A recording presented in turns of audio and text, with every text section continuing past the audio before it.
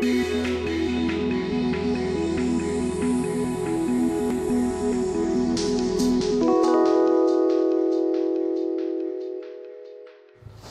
good morning, everyone. My name is uh, Priit Luman. I am the head of uh, Buildings Division in Nordecon, which is uh, one of the leading construction companies here in Estonia. And uh, I would like to speak about uh, a project that we just finished a month ago in Viljandi. It was a old Soviet-style um, theater. It was originally built in 75 and we renovated it uh, during the last year. Uh, the original architects of the building, Irina Raud and uh, Mait Sumadavet, were quite heavily involved in the renovation uh, project. Uh, uh, the total capacity of the building is about 10,000 square meters. Um, the old main theater hall was renovated, which is accounts for about 500 seating and the new black box type of uh, theater hall was built uh, instead of the old uh, practice hall. Uh, the project itself uh, was uh, tendered in four parts. Riigi Kinnisvara Aktsiaselts, which is one of the biggest public um, house owners in Estonia, was the one who orchestrated this process. Uh, the first contract was the main contract uh, which we won. Uh, second contract was about stage technology, new stage technology, which was won by a Netherlands company, Trekwerk. Uh, third part of the tendering process was uh, sound and video systems, which was uh, won by Telegroup, and the fourth was furniture. Uh, so we had like the leading role in the project, but there were quite a lot of other stakeholders at the project. Um, originally, we were actually third in the tendering process, but uh, uh, after some time, the other two tenders did not uh, um, qualify for the project, so we were handed the project finally in February 2016, which was about six months after the tender. Um, so when we started, it was quite uh, cold and snowy, and theater had been unattended for about half a year. So there were a few problems because of this. It was not heated, and uh, some of the equipment that was supposed to be um, renovated was not uh, was so broken that it had to be built new. The most difficult part about this uh, build was that it was a reconstruction and all of the old facade bricks had to be demolished. Um, the amount of uh, new facade brickworks was about 5,000 square feet, so it was really time consuming. And uh, um, what I can say is that uh, the demolishing works uh, were almost as long as the building works. So I think uh, we ended the demolishing part at December 2016, like three months before grand opening. so here you can see uh, the old uh, practice hall, which was uh, completely demolished, and a new black box type of uh, theater hall was built uh, instead of it. Um, here are some uh, old fuel tanks which had to be taken out because the new building was centrally heated. Um, here you can see some more brickworks. Uh, mm, the amount of the work was really, really large, and it uh, took us, uh, I guess, four months or five months to get all of the old brickwork down, and then we were able to start with the new work. And as the brickwork was so badly done, um, the first question that uh, arose was uh, what to do with this uh, wall. Uh, because it was uh, in the original project we had to put uh, stiff insulation onto the wall, but that was not possible as the brickwork was not straight enough. So we had to do it in two layers, six centimeters altogether, which is not a lot of insulation. It's quite little but because this uh, building is a national heritage or cultural heritage site, insulation was not the main, uh, main driver of this project. architecture was the main driver. So uh, it is not very energy efficient, but, uh, but this was not the, the prime goal. Um, here you can see that we had to build uh, these uh, uh, sections to sort out the correct color of the uh, mortar. Because for architect, it was very important that the color of the mortar is exactly right. So a right mix was needed. So we built quite a few of these uh, um, sections before we could start any work. And this was actually the case with uh, many, many works that you had to build like a small section, then the architect looks at it, then you can build the whole wall or whatever. Here you can see that some of the walls were completely there down. Here you can see this is a steel structure, so it was not uh, necessary to keep the brick walls. We were able to build new uh, thermoprofile facades here um, so the heating insulation properties were better, but still there's a problem here. You can see load-bearing uh, structures which were we were unable to insulate uh, properly. Um, before uh, starting, we had some tests done by Hilti to figure out what's the tensile strength of the anchors used in the old brickworks uh, they use these uh, tests to calculate how often you have to have the, the anchors. And we used chemical anchors from Hilti. Here you can see the test being carried out. Here's the old revolving uh, stage of, uh, of Ugala. The problem here was that um, when Dieter moved out, they took out all of the equipment and of course, all of the fluids uh, from the hydraulic systems uh, were left on the floor, on the concrete floor uh, beneath this in, in the cellar. So we had to take everything out, build new concrete walls. Actually, the new structure that was built by the Netherlands company was a bit different. So uh, new uh, foundation was needed in the center of the, of the um, revolve. And the problem here was that uh, the theater is located near the lake, so it was quite swampy uh, in the cellar. Here you can see more work being carried out. Uh, another difficult or, or labor-intense part was the demolishing and, and building of the roofs because uh, the old Soviet type roofs had been fitted with the new roofing in 2000 or something like that. So everything had to go and new roofs had to be built. And as the configuration of the building is very difficult, it has many different stages.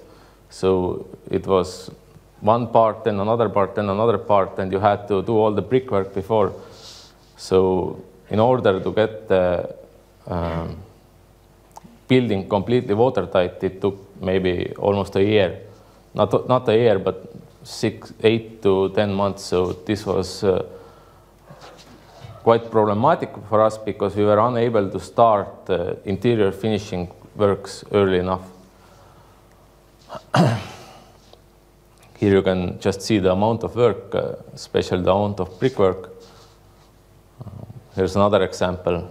Finding uh, workers for this uh, brickwork was also quite difficult because uh, uh, this kind of work is not something they would like to do. They would like to do simple houses where the work is easy. This is not easy, it's quite hard. Here you can see the old Soviet style uh, suspended ceilings, which was, were actually kept intact. We just uh, took out all of the piping, all pipe, old piping, and put in new piping. And uh, this wall was completely demolished because, as you can see here, some sunlight. So this was not very airtight.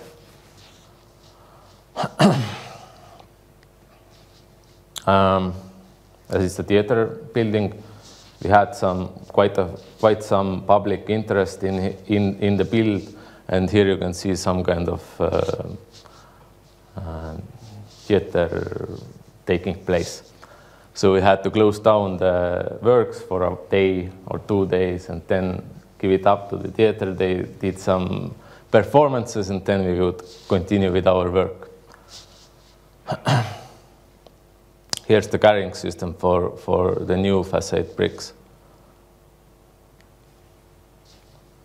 And um, here you can see the old, uh, old practice hall, which was completely rebuilt to be a new black box theater.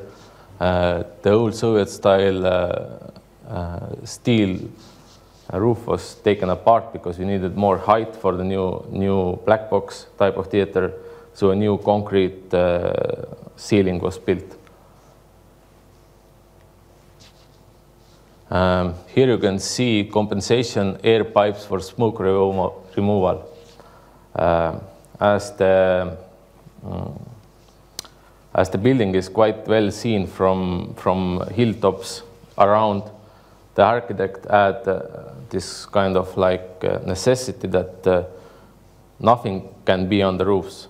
So all of the smoke removal pipes and all of the compensation air pipes had to be carried away from the building and had to be hidden so that uh, architecturally nothing is seen.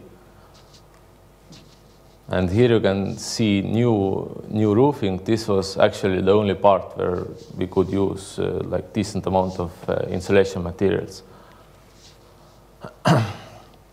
all of the glass facades were built new, all of the windows. Here are the wardrobe part of, uh, of the theater which had new wooden windows. Uh, um, another problem was that the winter came quite early in, in October this year. So this is something that uh, slowed us down for a while. Uh, luckily, it went away as quickly as it came.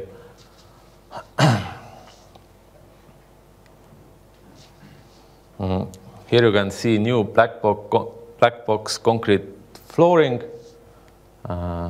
which was covered with OSB plating. And uh, on the OSB, we glued uh, these wooden floorboards. The idea of this is that because wood plays so much with temperature and with air um, humidity uh, to minimize this effect we glued everything on OSP board and uh, it doesn't cost that much more because OSP board is quite cheap, but the result, end result is a lot better. And here you can actually see the, the new revolve, main revolve being built. Uh, here in the center is the new foundation for the, the main revolve. You can see here will be one column which also supports the revolve and uh, most of the support comes from here. So the Netherlands company installed all these new uh, steel uh, works to carry this revolve. And all of the concrete walls were redone. Uh, here you can see the main visitors area, which was uh, basically left the same, only new paint, uh, some uh, minor repairs, and, and of course, uh, preparation for new uh, carpets. And the heating systems, which you can see here, were also changed for new ones. Um, here's the revolve built. it was actually, um, the revolve was built in Netherlands. It was taken, installed together, then tested thoroughly, then they can pack apart, put on the ship, ship to the site, and then put all together again. And it took about uh, four weeks for them to put this revolve together. It has a lot of steel parts. It has two elevators in it and, and so on. So this is quite, quite an expensive piece of equipment which takes quite a lot of time and has to be really, really uh, well done because when it revolves, it cannot uh, have any um, almost no no like uh, uh, it has to be really tight. And here you can see it uh, almost finished uh, with the main frames. Uh, here you can see the, the wooden floor being built on it. So if after finishing this revolve then we could level it and then start building the wooden floor. Here's another example of wooden floor. This is uh, actually uh, a hall where they um, paint the decorations for, for theater.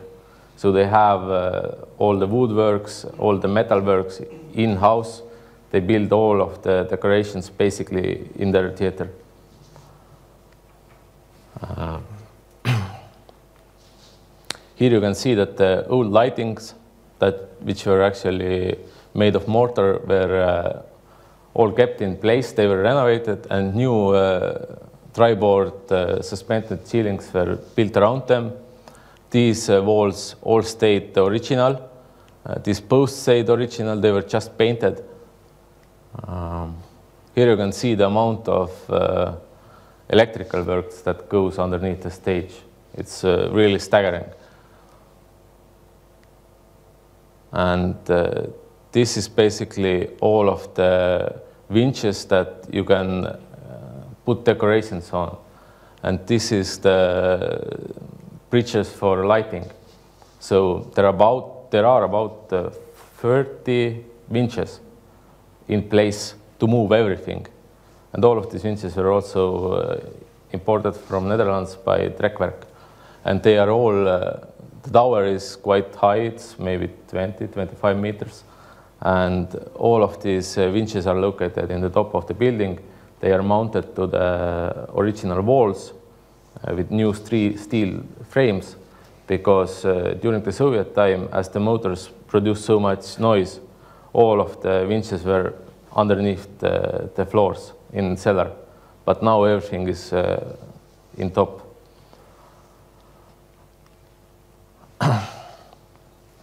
Here you can see the, the wardrobe uh, with new uh, stone tiles.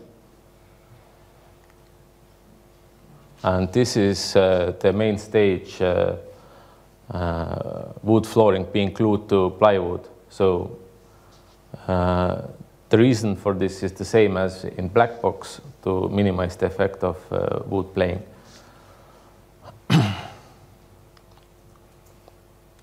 This is the new black box uh, hall. All of these panels were pre-made and then fitted into in place. There's uh, wool for sound insulation. Um, this is the new um, lift for handicapped people so that they can get into the main theater hall, which was a problem before. Here you can see the, the revolved stage being sold out. So after all of the wo uh, wooden floors were done, everything was sold out, uh, and then you could uh, try out the revolving stage. Um, as for the main hall is concerned, quite a lot of uh, uh, what you see in the main hall is uh, exactly the same. Nothing has been done to it. So these walls, which were just cleaned, nothing the, the old Soviet wall stay, stayed, it was only cleaned. Uh, all of the woodwork here was original, only carpets were changed and uh, uh, new um, mm, this um, a system for people who don't hear so well was put in place so to have like this uh, um, and here you can see the revolving stores being uh, got out. And after they were got out, they tested it for about a week to see that everything works correctly. And after that, it was all painted. Outside, a new glass roof was, uh, was added for the cafeteria for summertime. It was not in the original project, but uh, the theater wanted it so that they can have uh, uh, events in the summer in the cafeteria. this is actually the, a new cafeteria that was built in the ground floor. Uh, in the original building, quite a lot of uh, ground floor, floor was unused.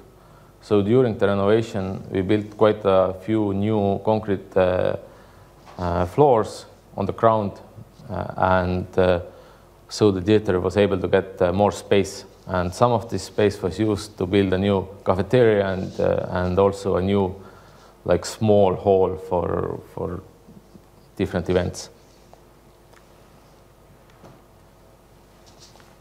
Here you can see the, the main entrance square, which was completely done. Uh, the new balcony. And um, as the commissioning part of this build was uh, almost no, non-existent, so after we finished everything, the theater just started. So during the last uh, three or four uh, weeks, uh, the theater already started to build decorations on the on the stage so that they could uh, start with uh, with this like to take the building into use as soon as possible. so here you can see the old what they call light clouds being installed. This uh, was uh, left uh, basically original, only the sockets were changed and the electrical works were changed, but the uh, lighting itself is uh, old. So it was just cleaned and uh, put back together.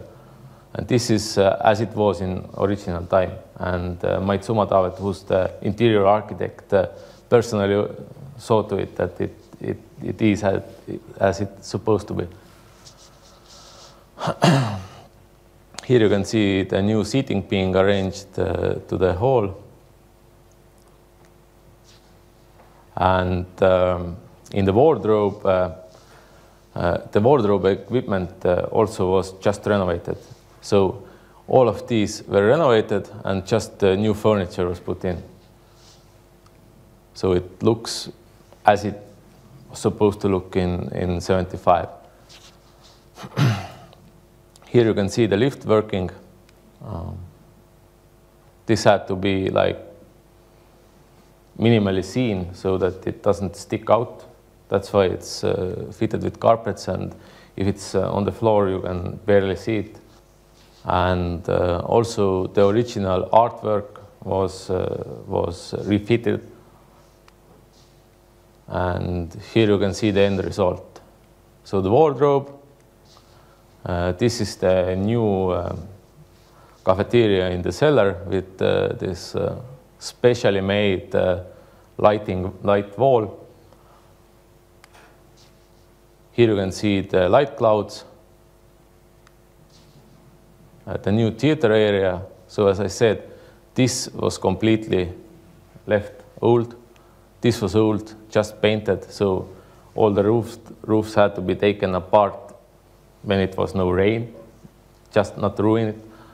And um, here you can see the new or, or the old uh, renovated second floor cafeteria uh, with original chairs or original light chairs. and this is, uh, this is the end result. So the, base, the most important parts of this build were, were all the brickworks. The amount of it was just staggering. All the roof works, because it's, it has so many different levels. And you have to build the brickwork, then you can put the roof together. So this is something that takes a lot of time. So for conclusion, the brickwork was a large, large, large problem for this building. Uh, the energy efficiency is not really good, uh, but that was not the point. The point was to keep it as close to original as possible. So we had to build a lot of new foundations. Some of the walls were decided to be de demolished altogether because they were in such bad shape. So if they were not load bearing, we took them out, built new wall sections. If you consider renovation projects, then uh, something that you need to have, you need to have good designers because uh, you're going to have surprises. And when you have surprises, you need new design works that uh, take into effect uh, what was originally built. And this has to be produced quite quickly so that you can carry on with the works. This, this, the time schedule of this build was quite intense because uh, all of the interior finishing works were done in three months' time, which is quite short. uh, and the amount of uh, work uh, to be carried out was, was very large.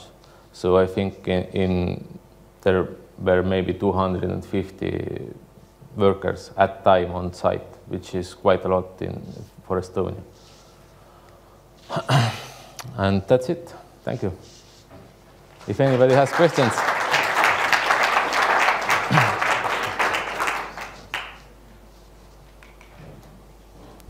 Thank you, Priit.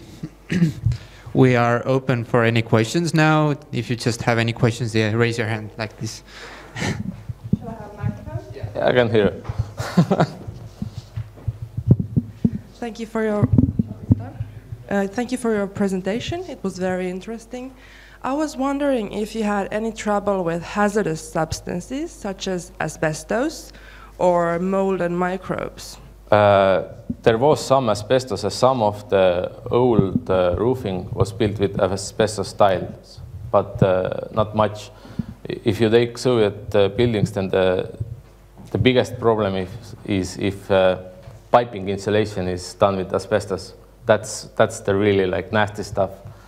Uh, this was not the case in Ugala, but yes, some of the roofing which we took out and built new one was done with asbestos tiles. So yeah, there was some but uh, otherwise no, no problems. And of course the, the uh, leakage uh, from the hydraulic system, that was also what we had to like. Do we have any more questions? Uh, okay, back there. Can I ask in Estonian because my English Yeah, sure. Mu küsimus on see, et tihti tuleb üllatusena, mis on vaja renoveerida, et kui palju te oma projektis ette nagu panite sisse ka seda, et, et sealt võib tulla üllatusi, et seinad, mis peavad olema isolatsiooniga, tegelikult ei ole ja et kuidas nagu ettevõte valmistub selle jaoks, et sa lähed nagu renoveerima üllatust mõnikord So the question was that how do you take account uh, like uh, different surprises you're going to find in the project? How do you calculate for it and how do you prepare for it? Uh, the answer is it depends on, on the contract. If the risk is on the, on the owner's side, then, then it's their risk. If it's on your risk, then of course you have to take into account the amount of extra work you're going to have because in every renovation, basically, you're going to have extra work which is not uh, seen before. So someone has to take into account, but uh, who takes it into account depends on the contract. And how was this time? Uh, this was mostly mostly not our risk.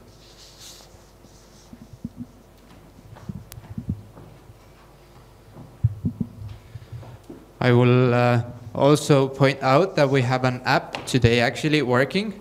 Uh, so if you do not want to uh, ask openly questions, you can post them on uh, sli.do. It's S-L-I dot D and O. And I will ask some, let's say, anonymous questions that the audience has. How long do you think this building will last before it will need a new renovation?